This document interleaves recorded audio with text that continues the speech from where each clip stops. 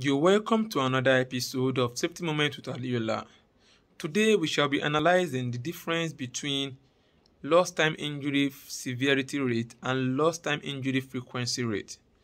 To make it easy, we shall be looking at the keywords severity and frequency. When you're talking about severity, let's say for example, you have an accident X that happened, accident Y that happened, an accident Z that happened that led to lost time injury, that is lost work days.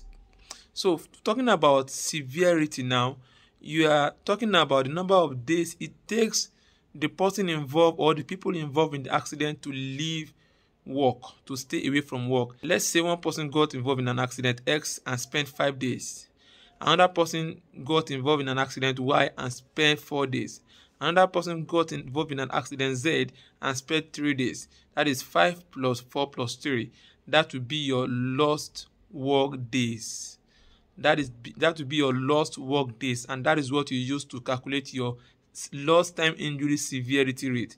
But if you're talking about lost time injury frequency rate, you're talking about the number of accidents that happened that led to lost time injury. That is X, Y, and Z. So that is you have lost work day case of three the cases are three, and that is what you use to calculate your lost time injury frequency rate.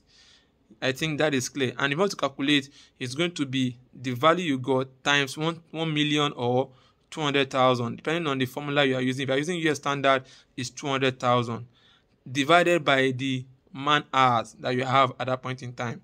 I hope that is very clear. Remember, it's safety moment to Walieyullah. Do remember to subscribe to our YouTube channel for more safety updates.